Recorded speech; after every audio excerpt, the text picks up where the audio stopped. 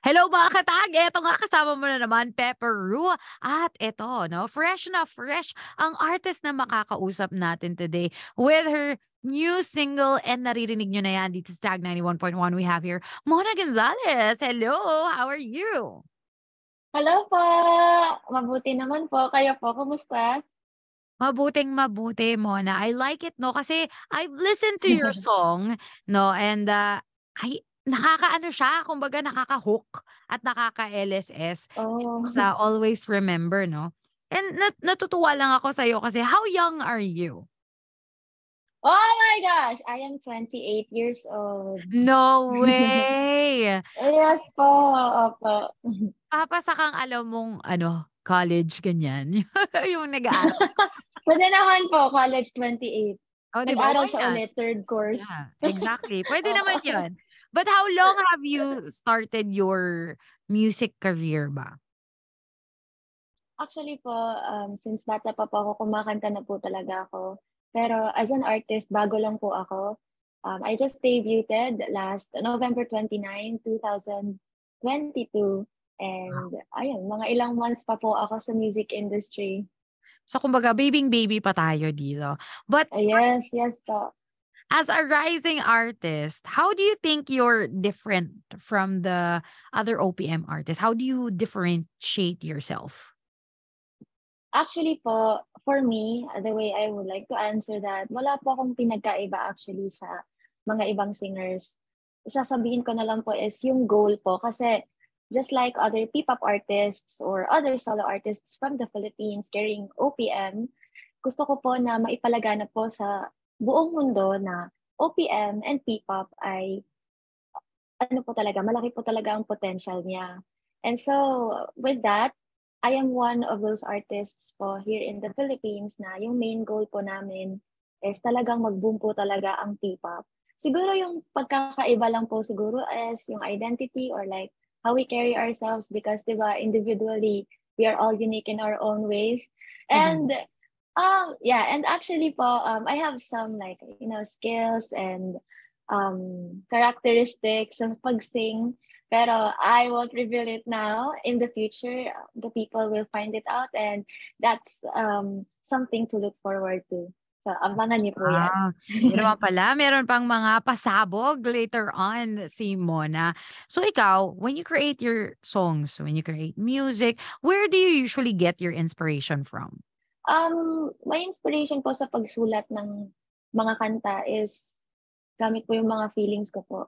Yung nararamdaman ko, yung mga nangyayari sa paligid ko, mga experiences ko po sa buhay, tsaka yung mga gusto ko pong i-express na hindi ko po siya nasasabi through words. So, talking about my song, Always Remember, I created that song. I wrote that song based po sa kung ano po yung pinagdaanan ko on that day nung isinulat ko po siya. So, that day, ano po, um, I was uh, alone and parang na-challenge po yung sarili ko. And I feel like I don't want to continue what I'm doing. Parang nagda-doubt po ako sa sarili ko. But then instead of like uh, quitting, when I saw myself in a very big mirror inside the studio, parang sabi ko na, hala, dito na pala ako. So there's no reason to, there's no reason to quit or to stop or to doubt myself. So Mhm. that time, I just needed somebody to remind me or encourage me. But then nobody was around me to encourage me that time. Like I was really, really, really alone. And so na-realize ko na, oo nga, no, sometimes naiisip natin na kailangan natin ng encouragement from other people, pero kaya pala nating ibigay yun sa sarili natin. And so I wrote everything that I wanted to say and I wanted to hear as well. And I wanted all the people who struggle, just like what I have experienced, to hear those encouraging words. So you mentioned yung how you started writing songs, no? And specifically, you went with always remember your experience sa studio. So ang next question ko kasi is, ano ba yung ah, main story talaga behind the song Always Remember? Actually, wala po siyang mahabang process. Kasi if I write something, I will just really use my feelings and my situation or kung ano man yung nalang, nangyayari sa paligid ko. Yun lang po. Ganun lang po kasimple. That's how I write it. Pero alam niyo po na nung sinulat ko po yung kanta, actually po, ang dami pong revisions ang nangyari. Mm. Um, meron siyang like a more than five yata na revisions and more than five also na iba't ibang story ng kanta. Pero, at iba't iba po di, din po yung title. Pero yung Always Remember po ang pinakauna ko pong naisulat.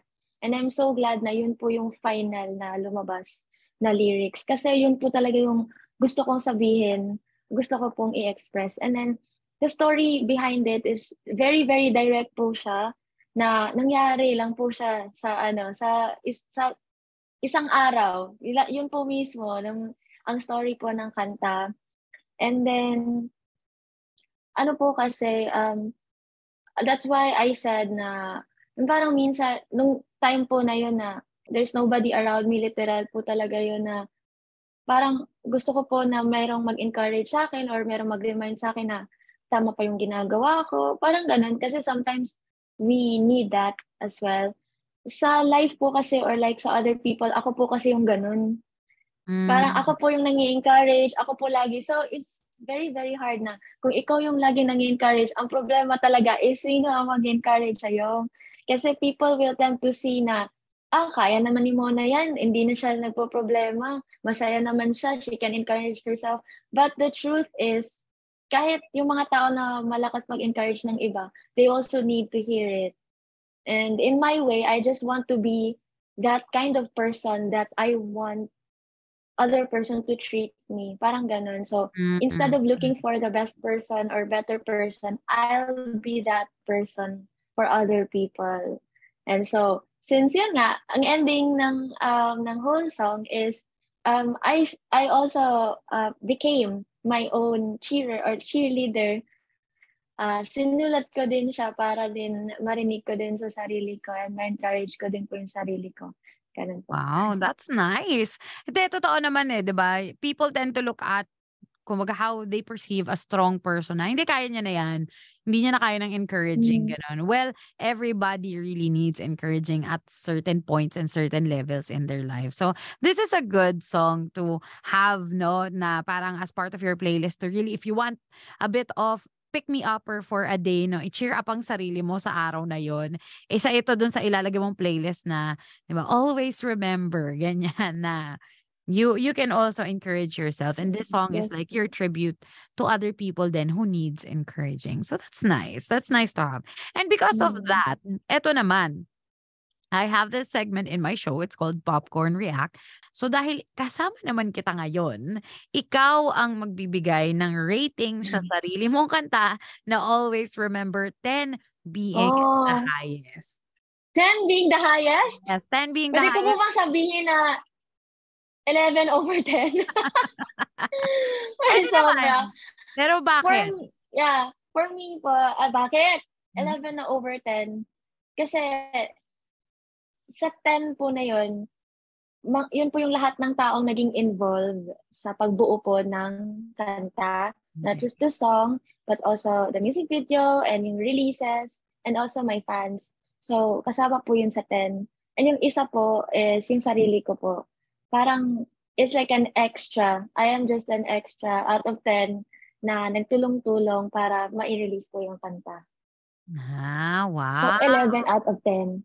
So, 11 out of 10. May plus 1 pa. yes. Pero sige, bigay natin yung, uh, bigay natin yung rating na yan for always remember. And of course, if you could share any future projects or any anything that you could tease sa, uh, sa mga listeners natin, sa iyong fans, what can they look forward to with Mona? Ah, please watch or please, please, please, please support me on my social media accounts and my music as well. And also, I'm about to release new songs in the future and also magpa-perform po ako sa P-PopCon this coming March 18 to 19. And sana mapanood po ninyo ang aking mga performances. And also, um, sa lahat po ng aking mga fans, Mooncakes in the Philippines and around the world. Actually, meron po mga supporters sa Middle East. wow, iba. yeah, yeah, actually, yeah, I have I have Arab fans. So, I think um, if they will hear about this, they will really listen to. So I would like to say to all of my Arab fans, Ana ahibukum ya mutabini al-Arab. I love you so much. Thank you, thank you, thank you. Shukran and have a great day. Tag 91.1 Pinoy talaga!